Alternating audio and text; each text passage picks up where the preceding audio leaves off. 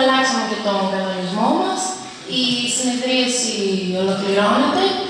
Θα σας περιμένουμε να σας ξαναδούμε την Κυριακή. Ευχαριστούμε πολύ. Καλό βράδυ.